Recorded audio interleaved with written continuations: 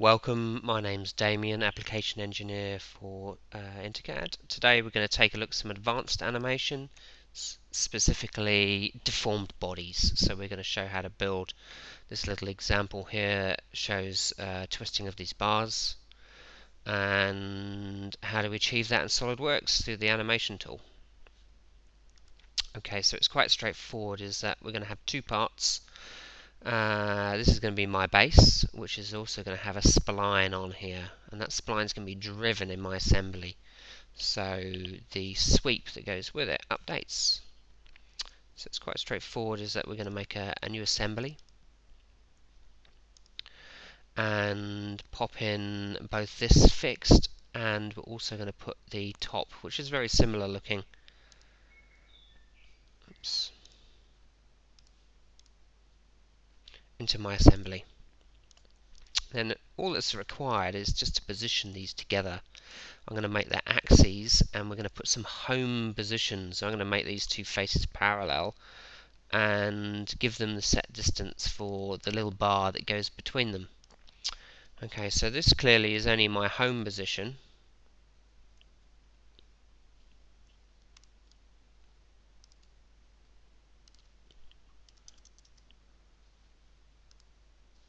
Okay, so likewise, because I want to be able to turn these on and off, I would normally uh, give them a name that makes them easy to find if I had a more complex assembly. In our case, it's probably not so important, but we can we can do it anyway. Home angle home distance. Okay, so that's uh, the basics of my model setup. So what we're going to do is we're going to edit this bottom part, but in context of my assembly. So we'll save the assembly as a blog animation. And we're going to create our spline, which is going to be the basis of our sweep. So we're going to do it with a 3D sketch, so it's completely flexible. And traditionally we would do something similar to this with a, a, spline, but we're going to use a new type of spline available in 2014 called a style spline. What this lets us do is gain a little bit more control. So we're going to start from the fixed portion at the bottom, and the style spline works by creating a control cage. And this control cage um, can be used to fully define the spline. So we can add relations like along Y to keep these both vertical and we can make them equal. I can make these other two here equal as well and I can even add my own geometry connected to the cage of here. So this one here, for example, I'm going to also make equal to gain some symmetry in my model. And all of these relations can be uh, added and maintained and controlled with all anything else, any other geometry in my model. For instance, we're going to add a little controlling spline here just remove the long x and we'll make that perpendicular. So I'm removing the long x so this can rotate and the angle of this uh, item here can change with it. I'm going to add one more which is going to put a point on this spline and connect that point to my line just, just to gain control. Okay, so that's more or less my spline set up. We're going to use one other new feature from 2014 which is I'm able by using the smart dimension tool to click on a spline and give it a length okay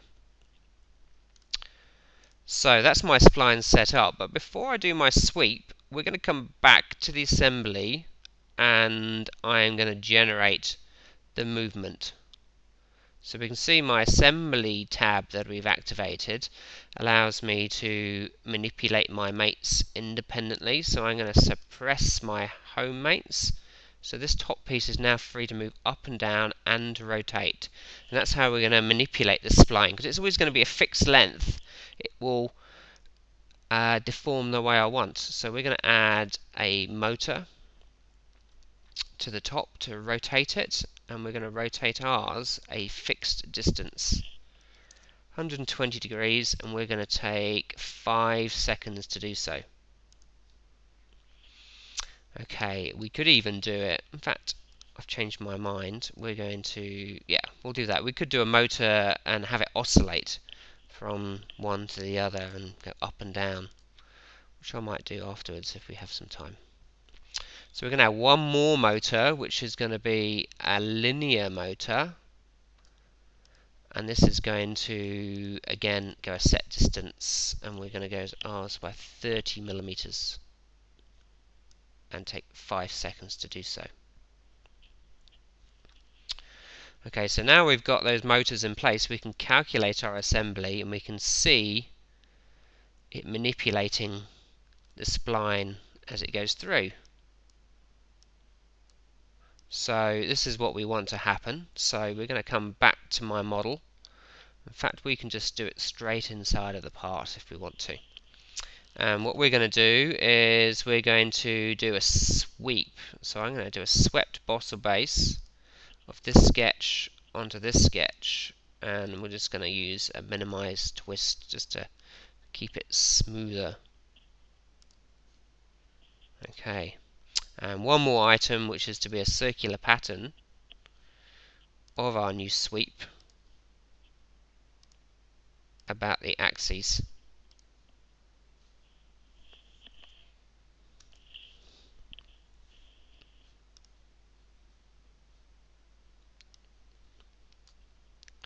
fix this up a little bit and we're going to do our calculation.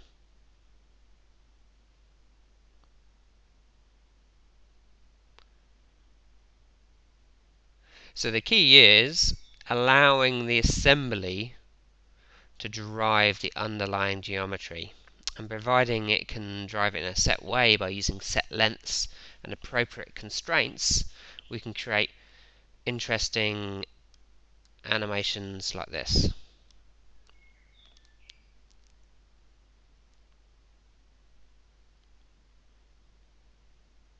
And like I said, we can go a lot further and we can edit the features to be rather than dis distance, I can oscillate between 120 degrees every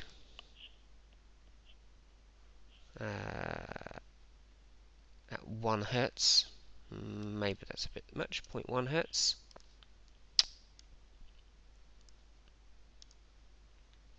And the same for our linear motor. Oscillate. 0.1 hertz. 30.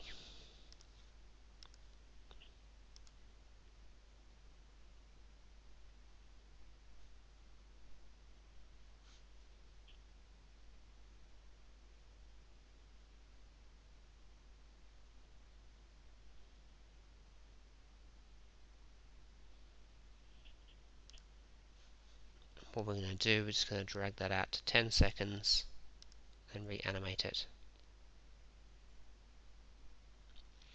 So this animation will show it going up and down between the two.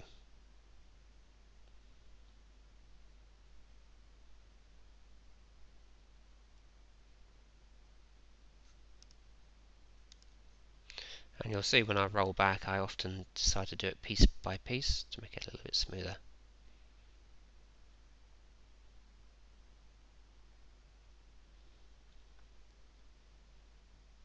Okay, thank you for listening.